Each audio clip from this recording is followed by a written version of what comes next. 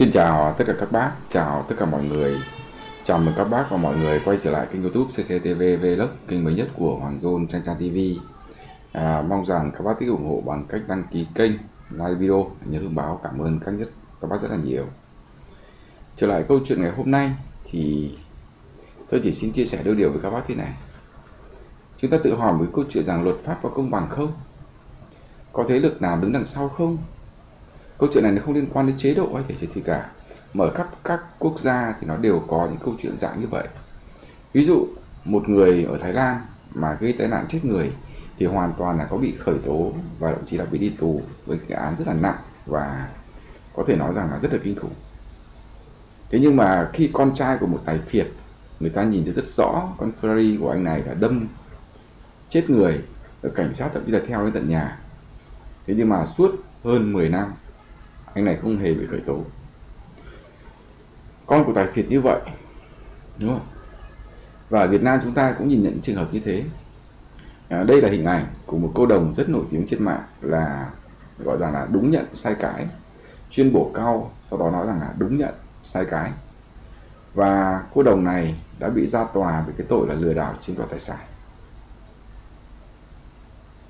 Và những hoạt động của cô được quy chụp là được quy rằng là hoạt động mê tín dị đoan và trục lợi. Bởi vì à, có nhiều người người ta bảo rằng là đưa tiền cho cô này để cô à, ví dụ để mong được bán nhà. Thế nhưng mà cô này sau khi mà nhận tiền rồi nhưng mà nhà của bên kia của họ vẫn chưa bán được họ cho rằng là đây là lừa đảo. Và cơ quan điều tra đã bắt giam cái cô đồng bỏ cau này. Chúng ta nhìn qua đó chúng ta cũng thấy hợp lý. Đúng rồi. Đấy, hứa với người ta làm cái nọ làm cái kia. Để rồi cuối cùng rằng là không làm được thì chả khác gì lừa đảo. Biết rằng là mình không làm được mà mà vẫn đi uh, gọi rằng là lừa đảo người ta để người ta đưa tiền cho mình. Thế thì trả lừa đảo chiếm đoạt tài sản thì là cái gì nữa? Đúng không? Đúng như vậy luôn chả có gì sai cả. Thế nhưng mà nếu như bắt cô đồng bỏ câu này thì tại sao lại không bắt những người khác? Và những người khác ở đây là ai? Đó là rất nhiều người người ta công khai làm những cái chương trình, làm những cái hoạt động hoành tráng hoành tráng để mà lừa đảo. Như dạng như cô này, tức là mọi người mang tiền đến với cái nọ kia. Mà điển hình nhất là ai? Là anh Minh Ba Vàng. Hoặc là anh Minh Ba Vàng. Tức là anh Minh Ba Vàng thì cũng khác gì đâu. Bà Yến Ba Vàng thì cũng khác gì cô đồng bỏ cóc này đâu. Về mặt bản chất thì vẫn rằng là đi bảo rằng là à cái vong này là cái vong mà từ 14 từ 14 kiếp trước nó đi theo. Rồi nó đi theo rồi vân vân. Rồi nó nó làm cho mình bị bệnh nọ bệnh kia. Nó làm cho mình bị khó cho khó kia. Nó nhập vào mình nọ kia, vân vân. Thế thì vong nó đòi tiền. Mà nó đòi tiền là đòi tiền thật. Bình thường là nhớ nó đòi 100 tỷ cơ. Nhưng mà bởi vì rằng là được các thầy độ hóa, những bậc mà đức cao, ví dụ như là anh Minh là đức cao, tức là phước lớn độ hóa cho nó, cho nên là nó chỉ đòi lại là có khoảng tầm 180 triệu thôi 200 triệu thôi. Chứ bình thường nó đòi 100 tỷ cơ. Thế nhưng mà nó đòi tiền thì chả có gì để cho không được. Thế là bà con là thi nhau là bà con là bỏ tiền vào, rồi là nhờ anh Minh Ba Vàng, nhờ chị Yến, vân vân, để mà cúng phong giải hạn. Thế thì đấy có phải là hoạt động mê tín dị đoan không? Đấy có phải là hành vi lừa đảo để chiếm đoạt tài sản không? Rõ ràng trong cái câu chuyện này thì đó là hành vi lừa đảo chiếm đoạt tài sản. Nếu chúng ta nhìn qua cái mà chúng ta nhìn thấy này.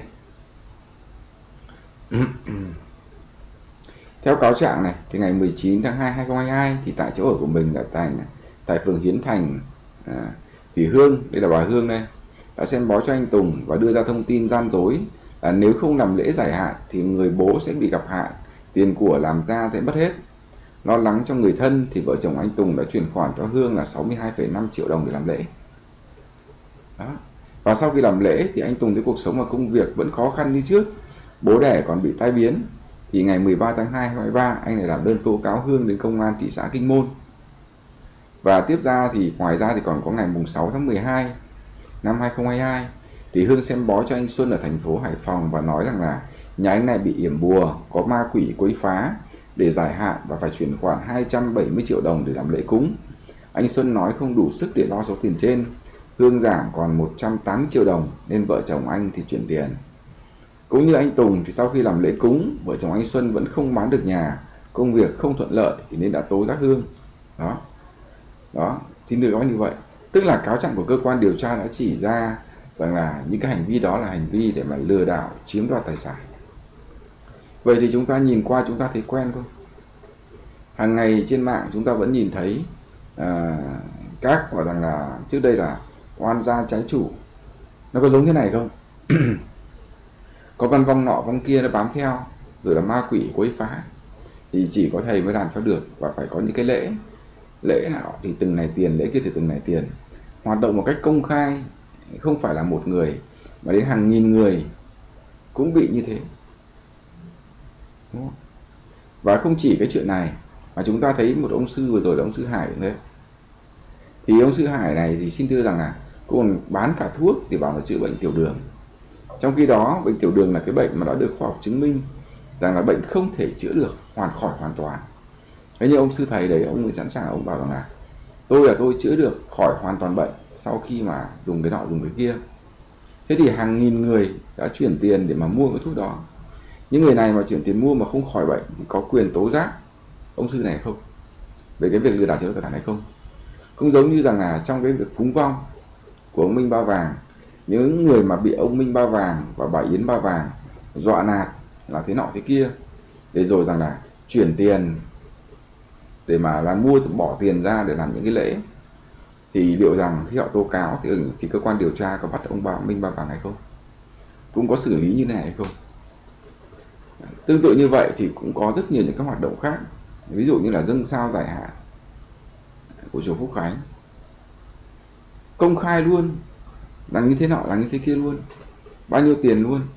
Vậy thì khi mà vẫn còn hạn ờ, tức là vẫn gặp những chuyện xui xẻo, vẫn không làm gì được, thì liệu có quyền tố cáo những người hoạt động trong đó liên quan đến việc hoạt động với thị trường đoan và lừa đảo để mà chiếm đoạt tài sản hay không? Tức là những cái câu chuyện này là những cái câu chuyện mà chúng ta thấy hàng ngày. Nhưng mà cái chúng ta thấy thì nó kỳ lạ. Nếu như không bắt những người như là những người đó, nó còn kinh khủng hơn, lừa đảo mức độ quy mô lớn hơn. Cái hậu quả gây ra nó còn khủng khiếp hơn. Mà để bắt cái cô hương này, thì như vậy chúng ta hỏi rằng là cái sự công bằng nó có được mang đến cho tất cả mọi người hay không? Hay rằng là với người này thì tôi xử lý, còn với người kia thì tôi không xử lý? Có một cái điều đặc biệt ấy, pháp luật thì không có cái tiêu chuẩn kép. Chúng ta hay nói cái từ tiêu chuẩn kép ví dụ như phương tây chẳng hạn luôn đi giao giảng nhân quyền. Nhưng với nước này thì họ thì thì họ nói rằng là vi phạm nhân quyền nọ vân vân. Nhưng với nước khác có tình trạng khinh khủng hơn thì nhưng mà đồng minh của họ thì họ lại không nói gì. Đó gọi là tiêu chuẩn kép. Thì những cái việc mà chẳng hạn như là pháp luật pháp lý thế này mà nếu mà bắt cô hương này liên quan đến cái việc mà bắt cô hương này liên quan đến việc mà mê tín dị đoan và lừa đảo chiếm tài sản. Thì những người như ông Minh những người như ông Minh và thậm chí kể cả những người như ông Từ hay là những người khác chuyên đi làm lễ cho các nơi khác để mà kiếm tiền thì có xử lý hay không? Cho nên ấy, không ta không thể nào mà dùng cái tiêu chuẩn kép ra được. Nếu như xác định rằng là hoạt động này không phải là hoạt động lừa đảo chiếm đoạt tài sản thì cô này không bị bắt nhưng nếu nó xác định rằng những hành vi như vậy là lừa đảo chiếm đoạt tài sản thì những người như là ông Minh hay là những người như ông Từ hay là những người như khác cũng phải tra tay vào còng cũng phải đứng trước vành móng ngựa và trả lời những câu hỏi. Của bên công tố quý vị kiểm sát rồi trả lời câu hỏi của tòa. Đúng không ạ? Và đó như vậy thì nó mới là cái công bằng nó mới là cái công lý. Còn cá nhân tôi ấy, thì tôi suy nghĩ như thế này. Bất kỳ một hoạt động nào là hoạt động mê tín dị đoan tức là làm từ táo u mê và nói những, không có những căn cứ cơ sở vân vân, thì sẽ mà lừa đảo với mục đích là kiếm tiền, thì nó đều là những cái lừa đảo. Đều là những cái lừa đảo. Những người bắt như cô hương này là đúng. Thì xã hội nó trong sạch không bằng hơn. Nhưng bên cạnh đó thì chúng ta cũng phải bắt nốt cả những cái người như là minh ba vàng. Đúng không và một số người khác lợi dụng các hoạt động tín ngưỡng tôn giáo để mà trục lợi cả đạo lý, cả giáo pháp, cả đạo pháp đều không đúng. Và cái mặt pháp lý cũng không đúng nữa. Thì tại sao lại không xử? Đúng không? cho nên đã bắt cô hương thì phải bắt thêm cả cả minh ba vàng nữa. Thì như xã hội này nó mới công bằng. Đúng không? tôi điều chia sẻ đó như vậy. Cảm ơn tất cả các bác. Chúc các bác một ngày tốt lành.